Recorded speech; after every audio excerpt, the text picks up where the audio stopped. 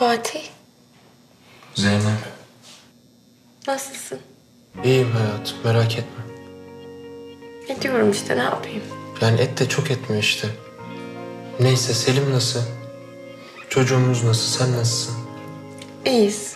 Hepimiz iyiyiz, sen hiç merak etme. Hem zaten herkes üzerimize titriyor, annem bile. Bizde mi kalıyorlar? Ya bizim evde tek kalmamızı istemediler. Malikaneye götürdüler bizi, orada kalıyoruz şimdilik. Tabii sen çıkınca evimize döneceğiz. Döneceğiz yuvamıza. Sen iyi misin? Yani uyuyabiliyor musun iyi? Gözlerinin altı biraz çökmüş gibi. Uyuyamıyorum aslında. Ya yani uyuyamıyorum derken üzüntüden değil. Ya, yani üzüntüden tabii de yani sizi özlediğim için ama o anlamda demek istememiştim yani. Anladım ben aşkım, anladım. E, Yok yok anlamadın. Ya aslında ben hayatım çok güzel uyuyorum da yani sağ olsun koğuştaki arkadaşlar e, çeneleri pek bir düşük. Bir de sürekli bana çay içiriyorlar. Yani hayatımda bu kadar fazla çay içmemiştim.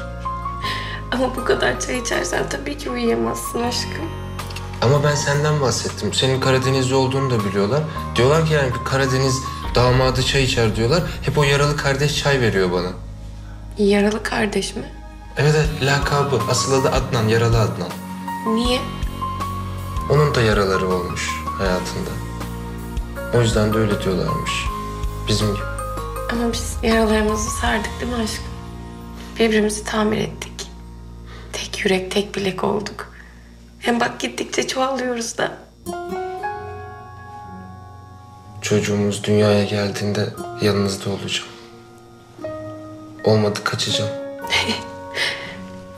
Biliyorum yaparsın. Ama şimdi düşünme böyle şeyleri tamam mı? Sabırlı olmamız lazım. Her şey düzelecek zaten. Görüş bitti. Seni burada bırakıp gitmek çok zor. Beni burada bırakmıyorsun ki. Benim kalbim, ruhum, her şeyim sizinle. Bizim de seninle. Sen zaten hep bizimlesin, yanımızdasın. Görüş bitti. Hadi.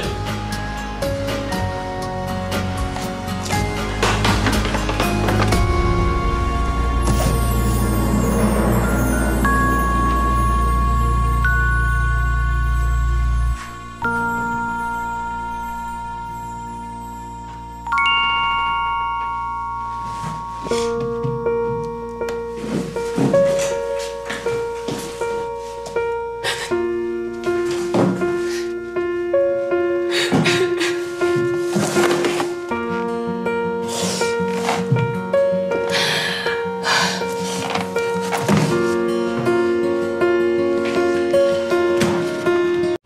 fazla video izlemek için kanalımıza abone olabilir. İlk izleyen olmak isterseniz bildirimleri açabilirsiniz.